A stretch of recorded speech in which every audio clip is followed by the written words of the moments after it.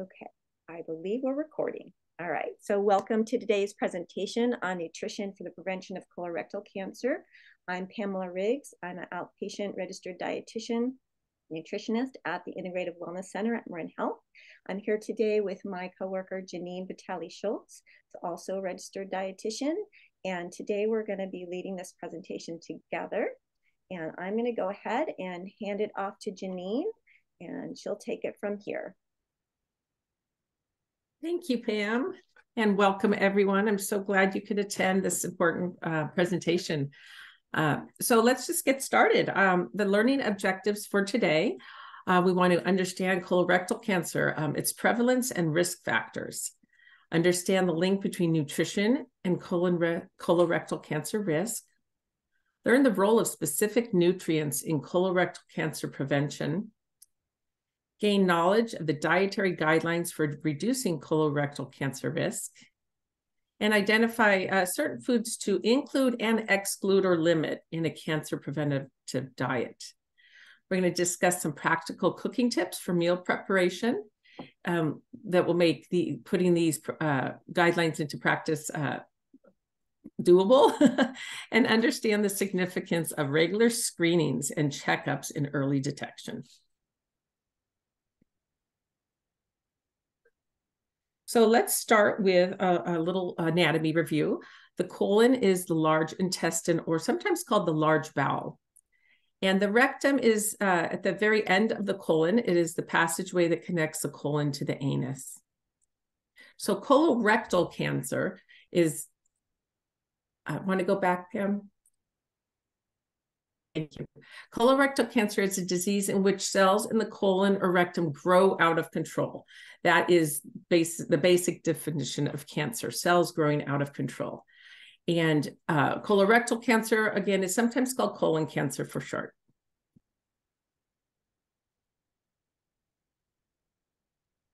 So sometimes abnormal growths called polyps form in the colon or rectum. And over time, some polyps, not all of them, but some of them can turn into cancer. So this diagram shows um, the healthy colon on the left and a very small uh, colon polyp that has formed. And then the progression um, in size. And then the, the on the far right, you can see that that colon polyp has actually progressed to a cancer and has invaded the tissue. So it's very, very important that colorectal, um, the polyps are detected early um, and removed when they're still benign and small. So now let's take a, let's review some of the statistics to learn more about the prevalence of colorectal, colorectal cancer. So one in 23 men and one in 26 women will be diagnosed with colorectal cancer. That was somewhat of a surprise to me that the prevalence was so high. It is colorectal cancer is the second leading cause of cancer deaths among men and women combined. You might ask what the number one cause is. Um, lung cancer is the number one cause of cancer related deaths for men and women combined. And of all cancers, colorectal cancer will take the most lives of people under age 50 by 2030. So we're going to talk a little bit more about that later, that, that colorectal cancer seems to be increasing, um, decreasing in age. Next. So importantly, more than 27,000 people under age 50 will be diagnosed with colorectal cancer by 2030. While the rates of colorectal cancer in older adults have actually been decreasing over the last several decades, rates of colorectal cancer in young adults is increasing. One in 10 colorectal cancers are diagnosed in patients under the age of 50 now. This is a troubling, troubling trend. Uh, we don't really know why, it, why it has been rising steadily since the mid 90s in this younger population, but we do know that patients under age 50 are more likely than older patients to be diagnosed with a later stage uh, colorectal cancer, stage three or four and those stages are less treatable. It's thought that the incidence is expected to increase by 140% by the year 2030 in this younger population. Now, you certainly might ask, why is this happening? Um, researchers aren't quite sure. Uh, one one hypothesis is there's a lack of awareness in young patients and their doctors about the signs and symptoms of colorectal cancer. So it's very important that the, the public and, and our medical practitioners um, become aware of having these conversations with younger patients. So let's go into what causes colorectal cancer.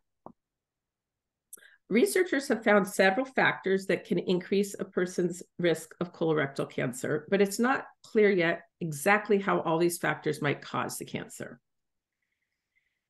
When we get into genetics, it gets quite, quite complicated, but let me try to summarize this. We have some genes that help control when our cells grow, divide, and die. Cancer can be caused by DNA mutations or changes that occur in these genes. This leads to the cells growing out of control.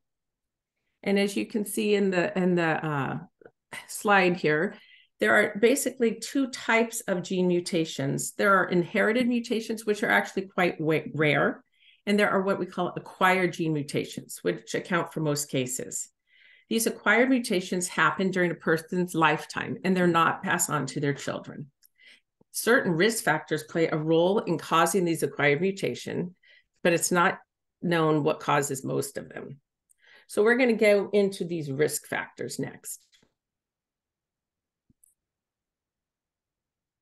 A risk factor is anything that raises your chance of getting a disease such as cancer.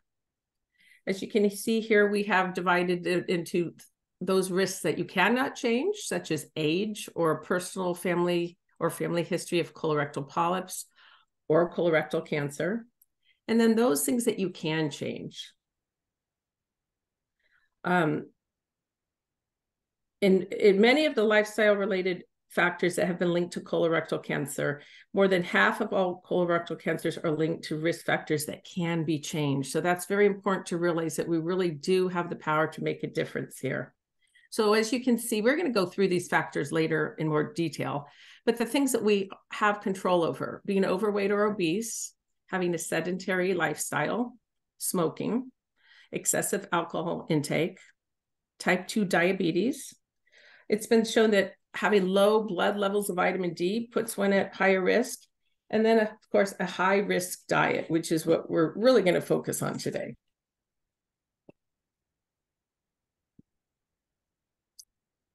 So in brief, let's discuss the component, the characteristics of a high risk diet, but we will go into these in greater detail later in the presentation. So a, high risk diet is one that is low in plant foods, so low in fruits, vegetables, and subsequently low in fiber. It's high in red meats, and red meat is defined as beef, pork, and lamb or liver. And it's high in processed meats. So those are, are smoked, cured, salted, nitrate preserved meats. Cooking at very high temperatures can also uh, create chemicals that might raise the risk of colorectal cancer. So again, we'll talk more about um, these risks and how we can prepare food in a healthier manner later in, in our presentation. But now let's focus on some positive diet changes we can make to reduce colorectal cancer risk. Uh, you can see here that by following a healthy eating pattern that includes plenty of fruits and vegetables and whole grains, so basically a plant-based diet, and limiting or avoiding those foods we just mentioned, the red and processed meats, sugary foods and sugary beverages, we really can um, significantly reduce our risk of cancers. So now Pam is going to go into more detail about what really comprises an anti-cancer diet. Thank you, Jeannine, for giving us a good background on what colorectal cancer is, what the risk factors are, uh, what you can control, what you can't. And that's where we're focused on what we can do, which is about diet and lifestyle change. And so, um, as Jeannine mentioned, you know, a kind of plant forward diet um, that is rich in fruits and vegetables and whole grains, you know, is really kind of at the forefront of a good anti cancer diet. And I'm going to go into more detail and so if we look at kind of general dietary recommendations, you know, we do want to eat a predominantly plant-based diet. We want to get those servings of fruits and vegetables in and eat whole grains and beans and legumes, things that have complex carbohydrates and fibers. You know, being mindful of the type of dietary fat that we're consuming and choosing lean, healthy protein sources while trying to minimize saturated fats and refined carbs and red meat and charred foods and um, and alcohol. So again, these are kind of general recommendations. And the next um, several uh, minutes of this presentation are going to go into the details as to why? What what is these types of foods bringing us from a, a nutrient standpoint and how are they protecting us um, against colorectal cancer?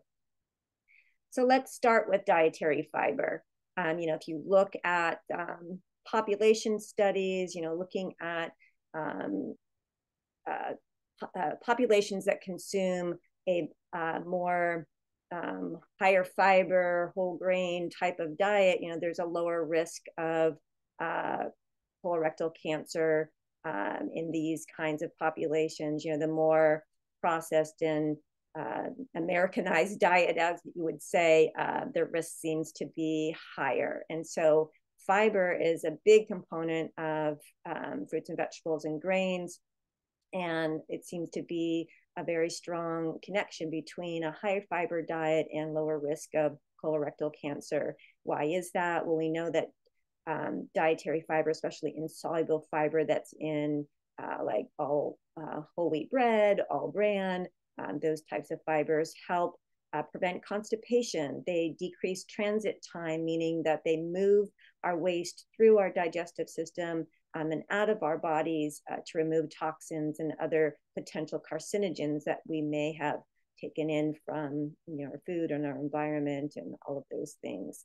Uh, we know that fiber promotes uh, a healthy bacteria in your gut. So we have trillions of bacteria in our intestines.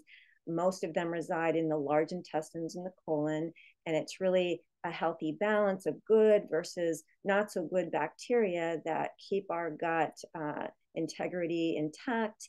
And um, even these types of bacteria can ferment these dietary fibers and produce byproducts like short chain fatty acids that support the healthy growth of colon cells. So fiber is really important in terms of maintaining our healthy microflora of the, of the gut. Um, the other thing that in turn, um, this bacteria um, microbiome balance can also reduce uh, systemic inflammation. Uh, inflammation is something that's connected to a number of chronic diseases, including cancer. And if you think about inflammation, you know we it's part of our immune system. You know you have acute inflammatory response which is important. If you cut yourself it gets kind of red and irritated as a defense mechanism to prevent anything getting systemically into our system uh, that could cause a problem. Um, what we're talking about with cancer and heart disease and other chronic diseases is kind of a low grade systemic inflammatory process. Um, it's your body kind of going, you know, this isn't right. Something's not right here. I'm trying to kind of fight something off. Um, and so we know that inflammation is been linked to, to cancer. So we want, um, uh, again, a plant-based diet, which is anti-inflammatory and many components of that we're going to be talking about that make up a plant-based diet uh, do have these anti-inflammatory components, including uh, dietary fiber. So where do we get fiber from? You know, we want to get it from whole grains, uh, you know, a whole grain is something that has an intact uh, uh, layers of the bran, which is the outer layer, as well as the very inner layer of the germ. Um, the fibers in the bran, the germ contains antioxidants, vitamins, and minerals and things that are good for us. Um, and when we kind of refine and process uh, carbohydrate, for example, when you take whole wheat bread and or whole grain wheat and you make white uh, flour out of it, they're removing the bran and the germ and just leaving kind of that middle layer, which is pretty much mostly carbohydrates, along with a little bit of um, protein. But the bottom line is we want to go for that whole grain, the intact uh, uh, grain, uh, nothing removed. So uh, brown rice, quinoa, whole wheat bread, oatmeal, your beans, legumes, um, chickpeas, uh, certain fruits and vegetables are higher in dietary, dietary excuse me, dietary fiber. Uh, your nuts and seeds, like uh, chia seeds and flax, are a good source of fiber. And you know, some people choose to take a fiber supplement like a psyllium husk fiber. Again, that all counts in terms of your sources of dietary fiber. So, how much do we really need? Well, if you look at population studies, once again, nutrition surveys, most Americans only get about half of the amount of fiber that they need um, each day. So, depending on who you ask, whether it's American Cancer Society or the uh, Dietetic Association, uh, Heart Association, anyway, it kind of ranges anywhere between 25 to 35 grams of daily fiber a day for adults. Um, if you're not used to eating a lot of dietary fiber, we do recommend that you kind of increase your fiber intake gradually, drink plenty of water. You know, if uh, you haven't been having a lot of fiber in your diet, fiber can cause, you know, gassiness and digestive discomfort if you kind of overdo it too soon, too fast. Um, and the bacteria of your gut really like those fibers and can uh, produce gases and, and cause bloating and things like that if you do too too much too fast. So uh, just gradually increase it and make sure you get a diverse uh, fiber rich foods in your diet uh, lots of different fruits and vegetables and whole grains and those beans make sure you're getting a, good mix of both uh, insoluble and soluble fibers for your health benefits the next component of a plant-based diet I really want to talk about are antioxidants. And what antioxidants are, are they're compounds that protect our body from harmful molecules called free radicals. Free radicals have been linked to damaging DNA. Uh, DNA damage and mutations is connected to the development of colorectal cancer. Uh, we are exposed to free radicals from our environment, from just the normal metabolism that our bodies go through every day, produces some of these free radicals as part of that those processes. So we want antioxidant nutrients that can actually um, uh, prevent those free radicals or scavenge up those free radicals from doing damage to the cells of our body. So antioxidants neutralize free radicals, they reduce inflammation, and I talked about the connection of inflammation and cancer risk. And also, uh, many of these antioxidant nutrients also support immune function, and we know how important our immune function is in um, in dealing with precancerous cells. Oops, sorry about that. That jumped ahead so much. Wow. That's crazy. Okay, here we are. So dietary sources of antioxidants. Uh, antioxidants are found, uh, nutrients are like vitamin C and E. Um, they're uh, found in vitamin C is found in citrus fruits, vitamin E or nuts and seeds, uh, beta carotene, which is a kind of a pre form of vitamin A. That's that deep orange color in your carrots and sweet potatoes. Um, certain minerals like selenium and zinc and copper have uh, roles as antioxidant nutrients. So we can get selenium in our Brazil nuts and oysters for zinc, uh, nuts and seeds for copper. And then other phytochemicals. So these are other plant compounds. They're not fruits or, I mean, me, they're not vitamins or not minerals, but they're other plant compounds that many of them give um, the fruits and vegetables their colors. So those orange, uh, uh, red in your tomato, the dark leafy greens uh, in your spinach, the purples and blues in your berries. Those are all uh, phytochemicals that provide us some antioxidant as well as anti-inflammatory activity in our body. So we want to eat a variety of those as well. So just remember to eat a colorful variety of fruits and vegetables. You go into the produce section, all those wonderful colors, the dark leafy greens, the deep oranges, the purples, the blues, um, the reds. We certainly want to get a variety of colors in to get those phytonutrients and the vitamins and minerals that are going to provide um, potent antioxidants in our food choices. Uh, you can also get those from nuts and seeds um, and whole grains in your diet. And outside of, you know, foods, we're looking at beverages like green tea, very high in antioxidant components, um, as well as the uses of spices like turmeric that have a potent anti-inflammatory effect, but also an antioxidant effect. So there's lots of ways if you're eating a plant-based diet to get in a lot of antioxidant nutrients. I want to say one more thing about our vegetable category, uh, cruciferous vegetables. So that's um, this group of um, particular vegetables like broccoli and cauliflower that have some potent anti-cancer uh, activity. Um, one of the components that's found in broccoli is sulforaphane, and it has a strong anti-cancer activity, uh, helps support uh, detoxification processes in our body, as well as been found to kind of hinder the growth of cancer cells. So lots of good reasons to get our cruciferous vegetables in as well when you're shopping in the produce aisle. Um, and I would say, you know, so we're talking about broccoli, cauliflower, kale, Brussels sprouts, cabbage.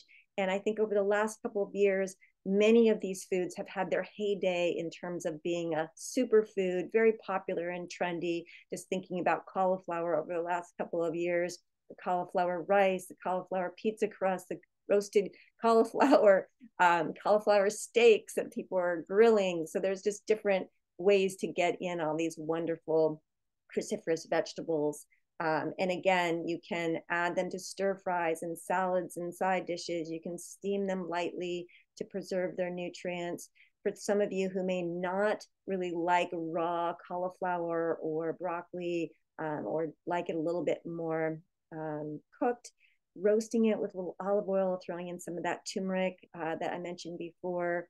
That roasting kind of gives it a little bit of caramelization to these types of uh, vegetables and really makes them quite delicious. I could literally eat a whole head of cauliflower that's been roasted um, with a little bit of olive oil uh, in the oven. So delicious. So experiment with different recipes, find your favorites, and include as many cruciferous vegetables into your day as, as you see fit. All right, so the next nutrient I want to talk about is folate. Um, it's a B vitamin, uh, an essential B vitamin that we need to get through our diet. Um, I think what's interesting about folate is that uh, this is this kind of discussion here explains kind of the complexities of nutrition science because um, at some point some things are may not be beneficial for us at high levels or during certain times in our life. And so with folate for example it's a b vitamin there's been plenty of research. It's probably one of the strongest nutrients that have been studied as it relates to colorectal cancer. And we've um, we have a, a mix of data. So most studies suggest that people who have a lot of folate in their diet um, early in life and throughout life have a lower risk of colorectal cancer. Um, where things get a little tricky is depending on whether you already have polyps or you've had colon cancer before, there's the possibility that high folate um, intake may actually fuel cancer cell growth. So, on one side, it can prevent cancer cell growth. On the other side, it may actually promote cancer cell growth. So, it makes recommendations a little tricky.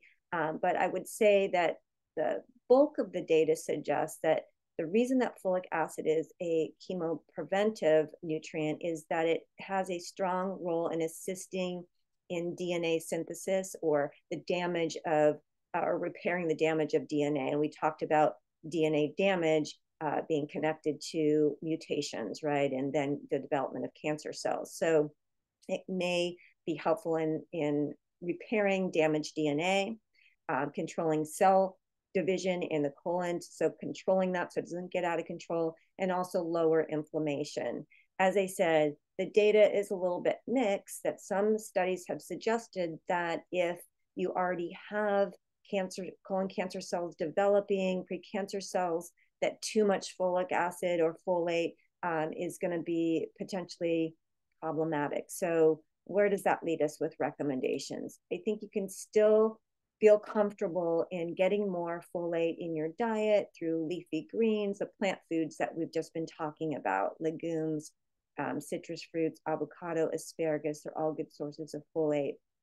There is um, some folate um, that's already been fortified in our foods like breads and pasta and rice, breakfast cereals. And the reason is that back in 1998, I think the United States and Canada passed legislation to fortify these foods with some folic acid um, to prevent the risk of neural tube defects, which is a type of birth defect in um, pregnant in, during pregnancy, right? So Um, we do get some in our diet from some of these fortified foods. So many breakfast cereals, for example, as I said, or breads, uh, rice, pasta, have a little folic acid um, added to them. So again, uh, I think the home the the message here is to include these in a plant-based diet. Um, you can make a folate-rich smoothie with your greens and citrus fruits. I would just say avoid excessive supplementation. So if you're taking a daily multivitamin that's got, you know, 400 uh, micrograms, that's totally reasonable. But we certainly don't want to be uh, taking high doses of uh, folic acid supplements, uh, most likely. Okay, on to calcium. Um, calcium has been another nutrient that's been really studied for its relationship with colorectal cancer risk. And what the data suggests is that uh, people who have adequate calcium intake in their diets tend to have a lower risk of colorectal cancer. And it may support colorectal health by, again, helping to control cell proliferation in the colon. Um, the other thing that calcium does is it binds with bile acids. Now, bile acids are produced in the liver, stored in the gallbladder. When we eat foods that are high in fat, we release that bile to help digest the fat in our diet. So most of those bile acids will get reabsorbed, um, but some of them kind of hang around in the large intestines and they may do some damage to the colon cells. The other thing is the bacteria that I mentioned um, in our uh, large intestines can actually use these bile acids um, and produce secondary bile acids that may be harmful again to our uh, uh, our colon cells. Um, so adequate calcium seems to help bind some of these bile acids, reducing cancer risk. Uh, great sources of calcium include our dairy products, milk, yogurt, cheese, uh, fermented dairy, uh, includes also kefir. Um, you've got our dark leafy greens, um, there are some fortified foods. You might see some calcium added to cereals and orange juice. And certainly, if you don't drink cow's milk and you're doing an oat milk or an almond milk or soy milk, usually calcium is fortified in those plant based milks as well, so that you're getting um, your calcium there when we talk about calcium, I think we can kind of go to vitamin D as well, because vitamin D, one of the roles that vitamin D plays is helping our bodies utilize calcium um, and incorporate calcium into our bones and keep our bones strong. And a lot of the research on vitamin D needs or recommendations for dietary intake come from bone health studies. But what's interesting about vitamin D is vitamin D is it kind of acts like a hormone in the body. We have vitamin D receptors in all of our body tissues. And so vitamin D does more than just helps our body utilize calcium. It supports a healthy immune um, system. It helps control cell growth. We're kind of really interested in vitamin D status in cancer patients. Um, and so we really uh, do want to have a sense of what our vitamin D status is. So, vitamin D, as I said, helps regulate cell growth, may help enhance our body's defense by boosting immunity against cancer cells. And where do we get vitamin D? Well, we know we get vitamin D um, from sun exposure. Our skin can make vitamin D. Problem with that is, as many of us are not exposing ourselves without sunscreen for you know periods of time where we can make enough vitamin D. Um, if you're overweight, uh, vitamin D gets kind of sequestered in our fat cells, and so it doesn't circulate to kind of do its job. Depending on where you live in the country, um, studies have suggested that if you draw a horizontal line from Los Angeles to Atlanta, if we live above that line, which we do here in the Bay Area, um, we may not even make enough vitamin D from sun exposure just based on kind of the latitude of our existence here. And they know that, you know, uh, populations that live kind of in the northern part of the uh, hemisphere um, tend to have lower vitamin D uh, status and um, potentially higher risk for colorectal cancer. Um, so, in addition to sunlight, you can get some in your diet salmon, tuna, mackerel, some of the fatty fish. Um, some foods are fortified, you know, milk has a little bit in there. Um, I, I would just say if you uh, and I'll have a next slide talking about vitamin D testing to find out where your vitamin D status is. sometimes if you're deficient, it's really hard to get your vitamin D level up to a, a healthy range with just food alone. So that's where dietary supplements um, come into play and um, can be significant in terms of improving vitamin D status. So what are the recommendations for both calcium and vitamin D? Um, calcium, I think what we're looking at is their recommendation anywhere between 1,000 to 1,300 milligrams, depending on your age, um, in terms of meeting your calcium needs. And that would be, you know, we want to do food first and supplementation maybe to fill in the gaps if necessary. Um, so we're not talking about a super high calcium diet, but meaning kind of the recommended dietary um, intakes in terms of vitamin D, as I said, kind of the best way to know how much vitamin D you need would be to have your vitamin D levels tested. It's not something that's generally um, part of a you know lab uh, lab order from your doctor with a physical something you may have to ask for a 25 hydroxy vitamin d test but it's very easy you don't have to be fasting um, and you can kind of see where your levels are so if you are 20 nanograms per milliliter below, that's a deficiency. 30 to 20 to 30 is insufficient. 30 is what we're kind of shooting for to get into the healthier range. And, you know, reading some of the research i'm on vitamin D and colorectal cancer, still unclear what the optimal vitamin D level is, but we're looking at probably around 40 to 50 nanograms per milliliter eh, as being a good range for an anti-cancer um, benefit. So if you haven't had your vitamin D test done, um, ask for that the next time you talk to your doctor and have to get some lab works done. All right, we're getting through this. Um, just want to talk a little bit about omega-3 fatty acids. So omega-3s are essential fatty acids, meaning we have to get them from the foods that we consume. Um, they're omega-6, omega-3, omega 9, uh, different types of these structures of polyunsaturated fats.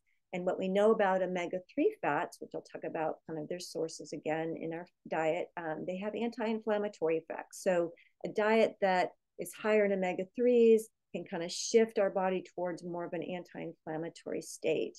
Um, there may be also some cell growth regulation and inhibition of tumor growth uh, that benefits from uh, omega 3s in our diet. So, where do we get them in our diet? Uh, fatty fish, so like wild salmon, mackerel, even sardines, anchovies. Um, those are good sources of omega 3s. Uh, we can get plant based sources, again, slightly different form, um, but our body does use those uh, omega 3s, and it's a, a, good way to, again, overall increase our omega 3 fatty acid intake by including like flaxseed and chia seed because they are um, packed with omega 3s. You want to kind of grind those flax seeds to release some of those um, oils, uh, but those are really a great way to get the plant sources. Um, walnuts are really the only nut that is a good source of omega 3s. So that's another plant option for those who may not um, care for fish. And certainly, you could take a fish oil supplement if you want. Um, there's nothing wrong with that if you really don't like fish and, and don't feel like you're getting enough.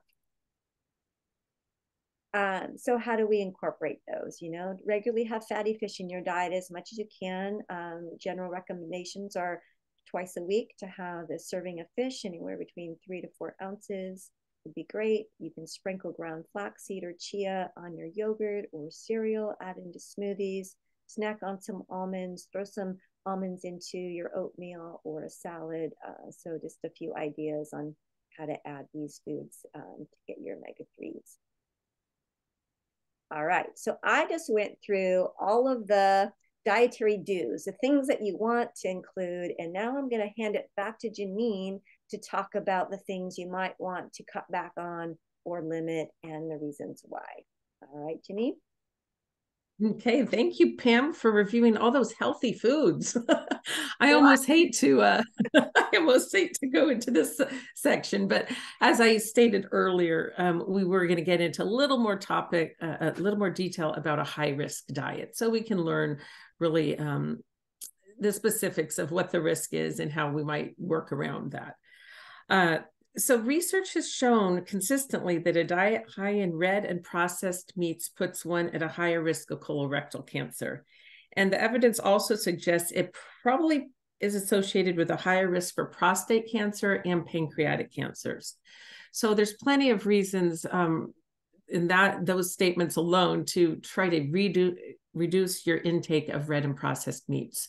So again, when we're talking about red meat, we really do mean beef, pork, and lamb. And um, I suppose we could also include in there a wild animal like venison, um, bison, elk, etc. Though we don't have a lot of data on those wild um, those wild animal uh, proteins what what's the problem with this? Well there's a lot of hypotheses. We don't really know the mechanism by which red meat increases the risk. Um, basically we look at population studies and look at observations. And so those observational or epidemiological studies show that high red meat intake does seem to be a risk factor for colorectal cancer. One suggestion is it's the high heme content the heme iron which may promote the cancer cell growth. Um, cooking methods also produce carcinogenic compounds and we will go a little more into that on the next slide. Um, but let's just focus for one moment on processed meat. So within the meat category, especially problematic are what do we call our processed meats. And so that could be bacon, sausage, hot dogs, deli meats. You know, I grew up eating so much bologna as a young child, but we didn't have this data back then. Um, but we've now realized that processed meats, again, which are also include smoked meats, um, salted cured meats and those that are preserved with chemicals such as nitrates seem to be especially problematic and especially unhealthy for the gut. Um, so there really is an emphasis on trying to um, reduce or eliminate those foods from our diet. Next. So uh, the cooking that we discussed earlier, um, carcinogenic compounds such as heterocyclic amines and polycyclic aromatic hydrocarbons are formed when red meat, pork, fish, or poultry is cooked at a high temperature. Okay, so when you've got those flames um, flaring up and the fat in the meat dripping down and smoke being formed, and then you get that dark, you know, uh, crispy coating on the meat, which a lot of people do like, I understand. That really is not healthy. Those are those um, carcinogenic compounds that are being formed on those meat proteins. So you're really going to want to be very careful with your cooking methods. Um, in general, avoiding grilling, broiling, pan frying, or searing the meat barbecuing, charbroiling. Now, I know that's a lot of people's favorite favorite ways to cook, especially in the summer. But again, keep in mind that it's it's the open flames, the high heat, um, the fat that is dripping on those coals or on the the you know on the flame, causing that smoking, and then that smoke adheres to the meat. So those are the, the things we really want to avoid. The next slide will give us some suggestions about you know specific recommendations. Um, when we talk about uh, eliminating red meat that's not really um, I, I, know many people who just say that's not an option for them. They kind of weigh the risk benefit and they feel that um, they really enjoy red meat and they still want to include that in their diet. So for those the the recommendation is to limit the amount. So less than or equal to 10 ounces of red meat per week and if you're thinking of um, maybe a size of a deck of cards, that's approximately three ounces visually. So it might be three small servings of red meat per week. Um, but certainly we're getting away from that huge steak laying on the you know on the plate with just a very small token amount of vegetables. When you think of this anti-cancer diet, as Pam had suggested, half of that plate should be covered with your plant foods. A quarter would be your lean protein, so occasionally that could be red meat if you chose. And then the other quarter of the plate would be your complex carbs. We really want to minimize the processed meat and um, opt for nitrate free options. You'll probably um, notice in the grocery store that the food industry has caught on that people um, are, are wanting healthier cuts of meat. And so the words you want to look for are uncured, n- no preservatives, nitrate free, um, that's really what you're you're going to want to look for if you're trying to find an alternative. And I know in our family we've sort of switched to like the chicken apple sausages that are made with free range chicken and no nitrates, no nitrates. Um, brands such as Aidells or Applegate Farms are, are some that you can think of. And even keep in mind something like a turkey luncheon meat, even though it's not a red meat, if it is preserved with those nitrates, again, we want to get away from that. So do look for, you know, the sliced turkey breast that says uncured, no nitrates. Um, back to the red meat, um, there's a visual up here about the different cuts of meat. The leaner cuts are really what what you're going to want to choose for those that 10 ounces per week. Um, sirloin tenderloin um, the flank or round steak ground bison is leaner. Um, there's a, a, picture here of a, a grass-fed ground meat product ground beef product. So again uh, we think that the grass-fed meat is a, a healthier option. We definitely know that an animal that's eating grass as opposed to eating solely corn has more omega-3 fats in the diet. And as pam mentioned omega-3s are more uh, immune friendly they kind of prevent chronic inflammation. So uh, the hope is that the grass-fed animal products and that goes for eggs and chicken too uh, grain fed i mean grass fed free range etc um, are going to be the healthier the healthier animal products to consume and then some cooking methods. Um, it's interesting to note that marinating the meat before grilling it or barbecuing it really does reduce the formation of those hydrocyclic um, amines. Um, so, and it also tastes a little better. so, go ahead and marinate ahead of time. Um, pre-cook the meat perhaps in the microwave or the oven to reduce the time needed on the grill. I've tried that with chicken um, so that you can just quickly put it on the grill. And you know, after many attempts at trying to barbecue uh, skinless chicken breasts, I have resolved that it's better to barbecue it with the skin on and then just take the skin off at the end and not don't eat it. Um, it's a nice little protective coat for the chicken. It keeps it moist. And if it gets charred, which it inevitably seems to do when my husband and I barbecue, we just take the skin off and um, before we serve it. And you can top it with a little extra barbecue sauce or something to, you know, um, make it a little tastier. You're going to flip that meat frequently.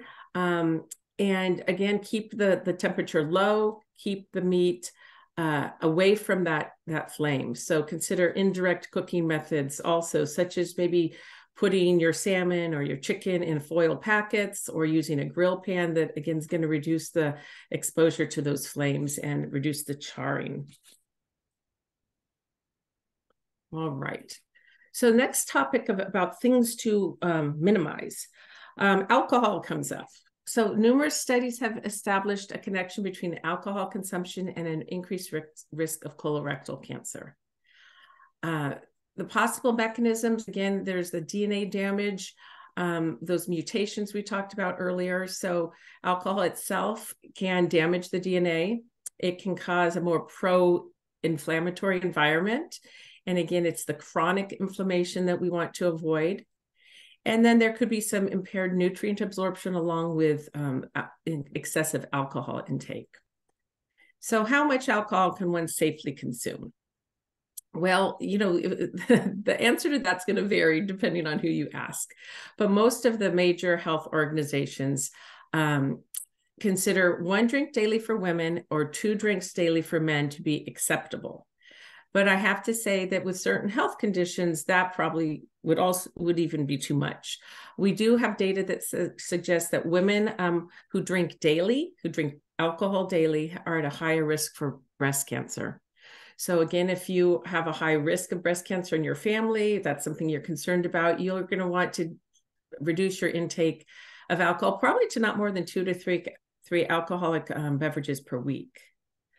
Um, the risk appears to rise with the amount of alcohol consumed, but as, as I stated with the breast cancer, even daily alcohol, which was sometimes recommended in a Mediterranean type diet. Um, you know, there was some evidence that maybe a glass of red wine a day could help uh, with heart health. That's being reconsidered. Um, but you have to just keep in mind that um, daily alcohol is not something that's safe for everyone. So I would probably have a conversation with your physician um, about your risk factors, your health concerns, and um, come up with you know what would be an acceptable amount of alcohol for you again keeping in mind your your current health and maybe your risk factors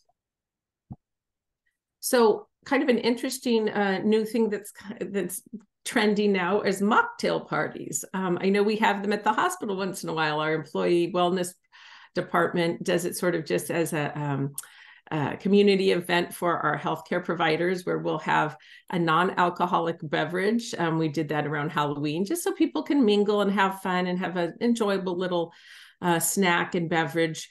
And uh, Pam found this book called Mocktail Party, which is 75 pa- plant-based non-alcoholic recipes. So all of our favorite alcoholic drinks like mojitos and pina coladas, etc., can be made virgin or non-alcoholic. And I think, especially with the holidays coming up, this could be a really fun thing to include in your party.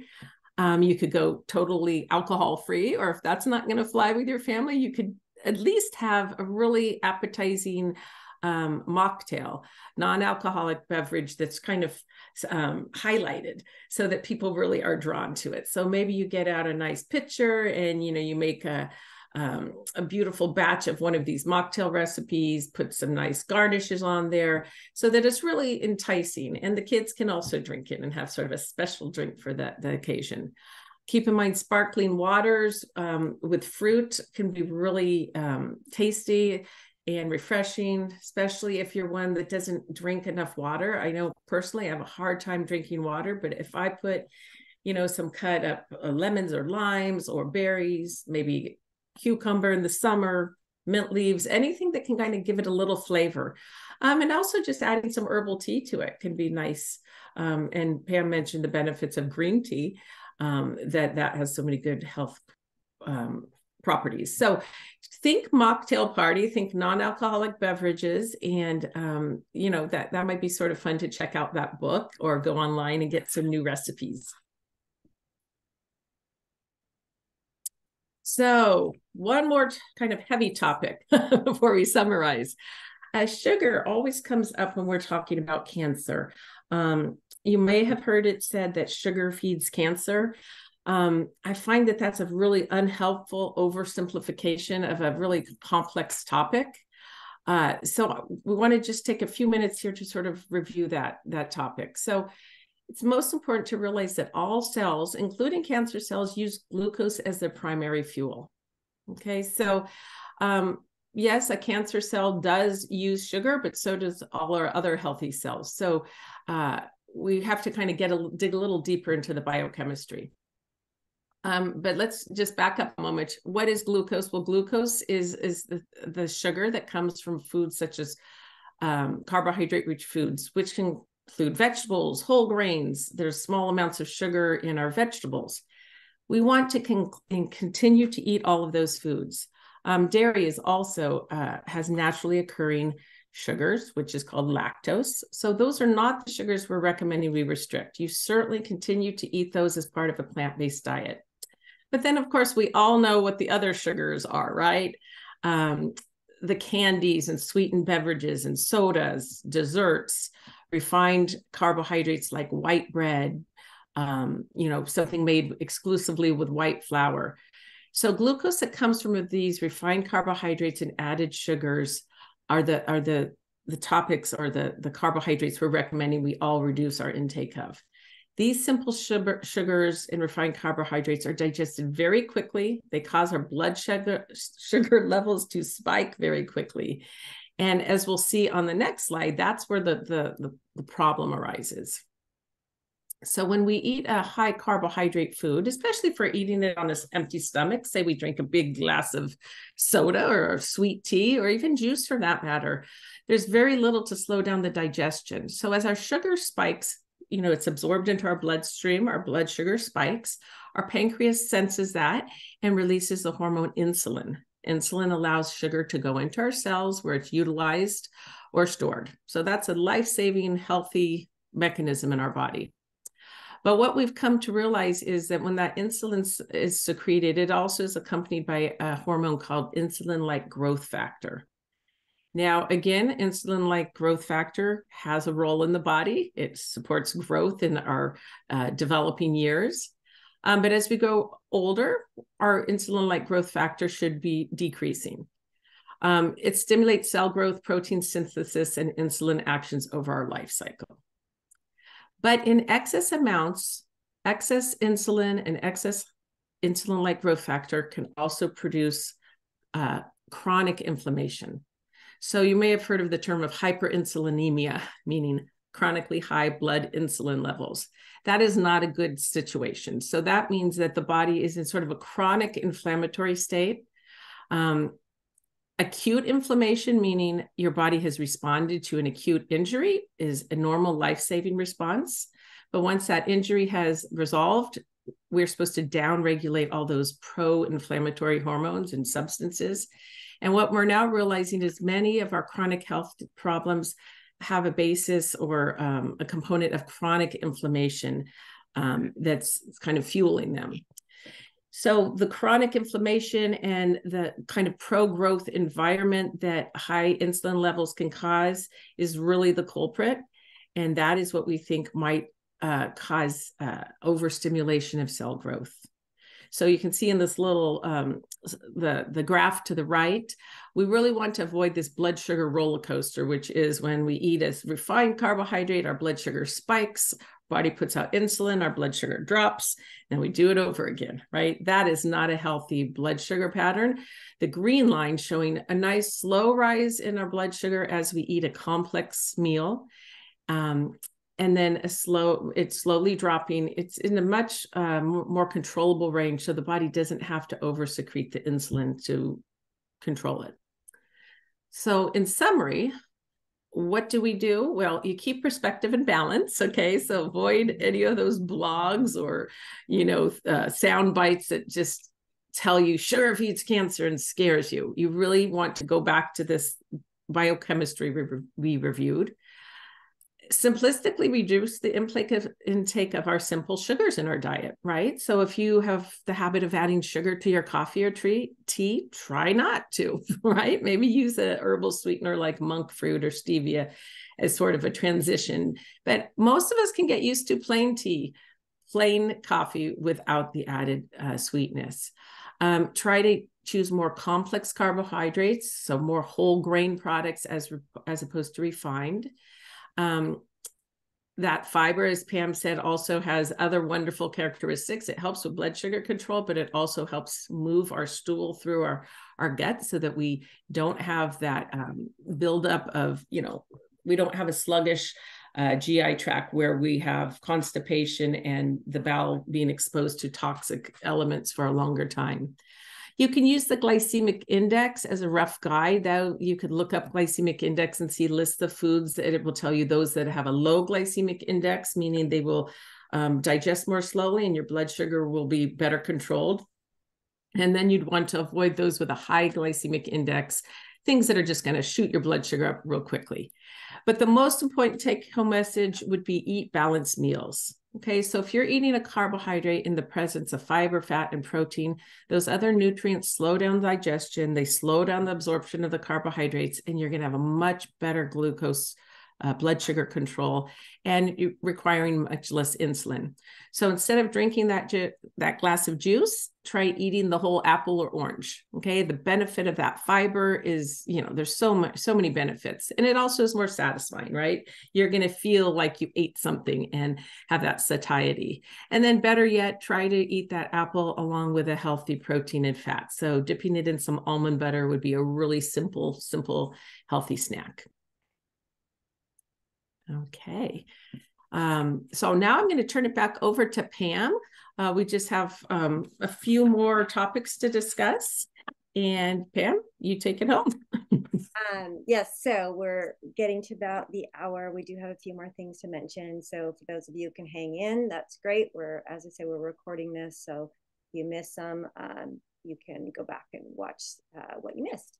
Uh, so in the the other thing that we're concerned about is obesity. Uh, obesity is actually a risk for several different types of cancers. You can see the graphic on the right um, from the Centers for Disease Control and Prevention uh, with different types of cancers that have been connected to obesity and being overweight. So, you know, based on what we understand today, people who are obese um, have about a 30% higher risk of cancer.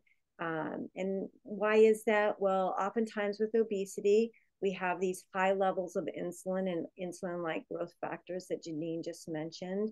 And also with obesity comes oftentimes chronic inflammatory conditions. And so we've both of us have mentioned the connection between inflammation and cancer risk. So uh, again, it's something that uh, we can try to manage to get to a healthier weight.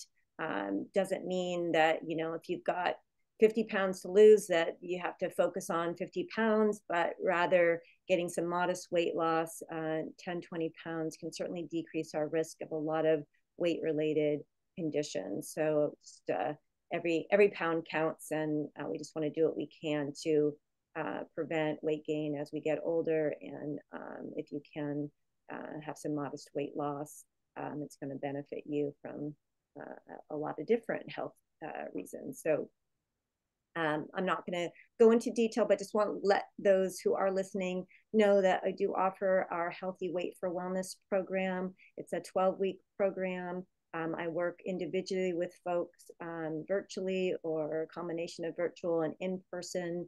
Uh, we may be offering a small group virtual program in 2024. Kind of been on hold with the pandemic, but looking to bring that back um, if we can uh, if people are interested. Um, and so, if you are interested uh, in learning more about the Healthy Weight for Wellness program, please feel free to call me or send me an email. Um, my email is pamela.riggs at mymarinhealth.org. Um, and if you go on to the uh, Integrative Wellness uh, MarinHealth website, you can also learn more about the program. So that's um, available to you. Um, I do want to kind of wrap things up by talking about the importance of screening.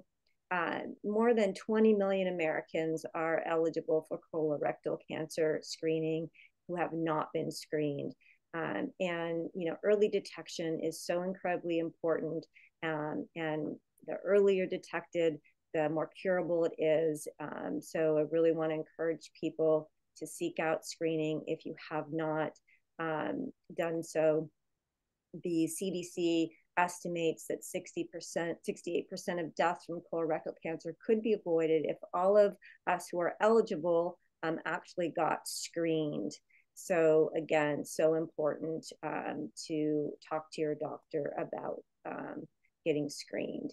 Um, there's a couple different options these days. I know people are kind of hesitant to go through the process of a colonoscopy uh, because the preparation for that is no fun.